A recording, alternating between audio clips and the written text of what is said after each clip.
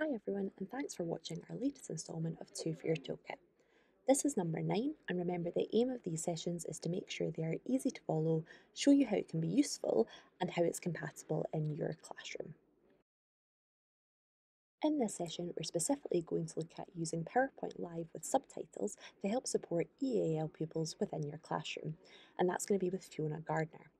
We're also going to be joined by Tracy Mutter to look at WordWall. First up today is Fiona Gardner, who's a history teacher from Grangemouth High School, who's going to share an idea for a tool that she thinks you could add to your teaching toolkit.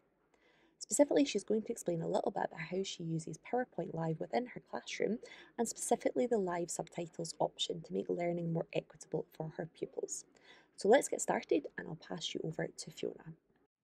So recently I have been using subtitles over my PowerPoints and lessons to help our new English as an additional language pupils. We've had a number of pupils arriving at the school and they're now over a variety of our year groups.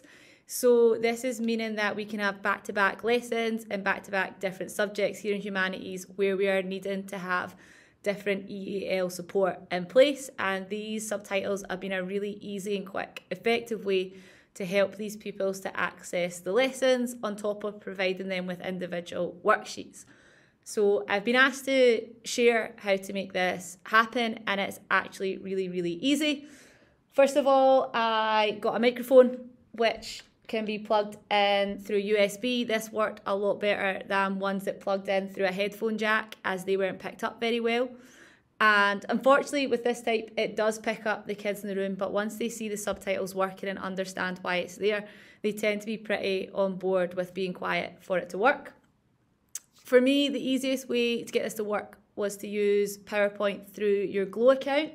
So if you go up to the top corner on Glow, it should say My Files, and there should be an Outlook option. So once in Outlook, some people might have better folders than mine, but I tend to just upload the PowerPoint that I'm using on that day. And that way it stops it getting too cluttered. So I'll just drag and drop in the morning the PowerPoints that I want. So today we were using um, the appeal of the Nazi Party for our N5 history course, where we have a new pupil who has arrived from Ukraine. So to get that to work, we put Ukrainian subtitles over it first, if it loads. Um, so if you go to slideshow up at the top, once it loads. Sometimes it takes a little while to buffer, but not too long. And once it comes up with slideshow on that tab, it should give you some options with your subtitles. Um, so there's two buttons that you're going to need. The first one is always use subtitles and this tends to upload itself quicker. You can choose which part of your slides you want your subtitles on, but I find the best is just below the slide and it'll naturally move your PowerPoint up and then it has a selection of languages. So we have been using Ukrainian. So you tick that. So once you click to play the PowerPoint and it recognizes your microphone, it'll start to naturally put your subtitles underneath your PowerPoints. And as you move on, it will change the slide and keep these going underneath. So that is the first way in which you can use them. It works straight away from playing it and it's really, really simple. What is possibly even better than this is if we come out of the PowerPoint and the present live option, which is next to your subtitles. If you click on that, it should generate a QR code. And this QR code can be scanned by pupils in class. If you click the present live button, what will happen is this slide will appear with a QR code now, I have been getting our EAL pupils to scan this QR code first of all, and also in our NAT 5, 3 and 4 class, or our NAT, in our NAT 3, 4, 5 class, pupils who are sometimes a little bit slower at copying information down, they will also scan onto it and it pushes the PowerPoint straight onto their iPads. So they'll scan in, your PowerPoint stays on the board, but it'll also keep the subtitles on a PowerPoint, which is on their iPad alone, and they can move the slides forward. So previous issues with just using sort of teams and kids in class where they could then go ahead isn't possible anymore because they're locked onto either the slides that you've already passed or the one that you're on. and it will transcribe at the side the language they have selected per slide. So if you move on to the next slide and start talking, it'll tell them this information was said on slide two. Um, that's about it. Yeah, that's excellent. Thank you so much. If you'd like to learn more about how to set up and use PowerPoint Live in more detail, then there's an excellent guide by DigiLearn Falk available by scanning the QR code on the right, which will walk you through how to do everything step by step. And if you'd like to see how this looks from both the teacher and pupil perspectives, I've created a handy how-to video that you can access by scanning the QR code on the left. Next up, we have Tracy Mutter, who is a computing science teacher from Falkirk High School. Tracy is going to share some ideas of how the tool WordWall can be used as part of a classroom. Over to Tracy. Okay, so I'm Tracy Mutter and I'm a computing science teacher at Falkirk High School. So today I'm going to look at WordWall. Now this is something that I have started to look at during online learning because it's interactive and it's fun activity for the children and they're also learning. So on the screen you can see my WordWall. I've already logged into mine. So I'm on the kind of home page here and you can see all the things in here. Um, I'm going to create an activity. So I'm just going to put in a, a random card you can see that we can just enter the title. Just put the test one in. And then we're putting in our words.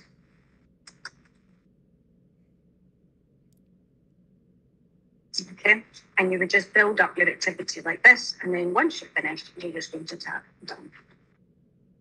Okay. Now, obviously, I haven't put enough things in there to get it to go, but you get the kind of idea that, that that's how you can create your activities. Okay, so there are lots of different types of activities that you can pick from, and you can see all the different ones there, lots of them to create. So when I actually look at the activities I have got, you can see that I have um, first one there on the left hand side, copy of an HTML quiz. So if I have a quick look at it, okay, so you can see it's a multiple choice questions. You can see on the right hand side there that there are switch templates. The children can also switch templates. So they can have it as a quiz or they can pick one of the other templates to play it. It doesn't change it for everybody, it just changes it on their screen. Okay, so the other options you can see that I have down the bottom here, I can set assignment. So if I click on that, I get choices for how I want to share this with the, the pupils. So if I wanted to record their progress and things, I want to set it this way and I'm going to keep it to enter a name. So the children just put the first name in. I can set a deadline if I want to do that as well. Quite often I just set it for none and then it's open for a while. Um, I want to, at the end of the game, show the answers so that the children can see what their correct answer should have been. I don't want a leaderboard because I don't want it to be in competition with one another. I just want them to kind of see their understanding and they can start again at the end of it and it'll get them more and more shots at it. Um, so I can just start that and then all I need to do is just copy that link there and then I can paste that into my team on my Google Classroom or whatever it is that you want to paste that. So that is how you can then share that with the children. So once they have completed all of that, the way that I can check their progress then is looking into my results at the top here. So you can see that I have three things that I have already run. Now my first, the top two actually, because I've just run the copy of HTML, it's there. Um, and the database is, is already set up for a class for tomorrow. So the one that I do have results from is this bottom one, the HTML matching tags. So this is the information that I get back. And you can see that this is quite a lot of information here that it gives me. And quite often it's graphical information, so it's quite easy to read off of this. So I can see that I had nine students. Um, average score was only four and a half, 4.8 out of 12, which is not great, um, and 10 out of 12. So when I can see the incorrect answers, I can see that they're quite lot. But the one on this first graph that really concerns me is number 12, because nobody got that correct. So I then think, okay, what was number 12? And I can scroll down and I can see the question. And if I tap on it, you can see more information about what the answers were given. And obviously, nobody has actually managed to answer that correctly. So that tells me that the children don't understand that bit, and I need to go back and reteach that or do some more retrieval work around there. I can also then see the children's names. And then I can see the scores that they got, the ones they got correct or incorrect, and the time it took them to, to complete that activity. So normally when I'm doing this, I would create my activity myself. So you get five. Um, you can see that in my activities, I actually have three activities here. So the first two are actually mine. I've created them. So you only get five. And even if you delete one, still counts as one of your five. So you maybe want to edit rather than delete. um, and the third one I have there is actually somebody else's. Okay. So to get into the community resources, I'm going to tap home and then scoop to the very bottom on the iPad. And then on the left, under it says sitemap, I want to tap on community. And this is where the magic really opens up for this because there are tests on all sorts of things that you can have. So if I type in something, now quite often I find for my subject there's not a lot of things. Um, so I was pleasantly surprised to see that there's lots for computing.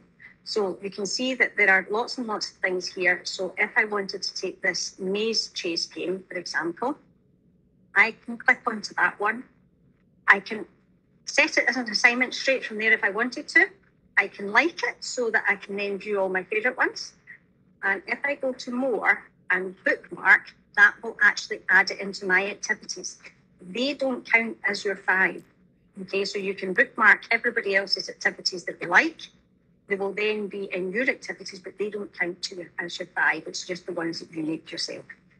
Um, so when I'm using these, I quite often will use in Apple Classroom. So I'll have saved it in my browser in Safari, and then I can issue it to the children on their iPad. So it just goes straight onto there with the Apple Classroom. So it's a great way to share the activity with them because they have the touch screens, a lot of them, the activities, they're like flying aeroplanes and things on the screen. Um, I do use it with S1 right the way through to S6, um, but I do think it could also be used in primary schools as well. So um, explaining obviously in the questions that you put in, it would be relatable both to primary and to secondary school. So something I've had a lot of success with, really positive results um, and positive feedback from children. So they've really enjoyed using it. So I hope you've all found something in this Two for Your Toolkit session that you can take away, either some new tips or a new tool to try out. I'd also like to take this time to thank both Fiona and Tracy for their time and for contributing to the content of this video. Please don't forget there are lots of other places where you can access ideas and support from the Connected Falkirk team, which you can see on the screen just now. Thank you so much for watching.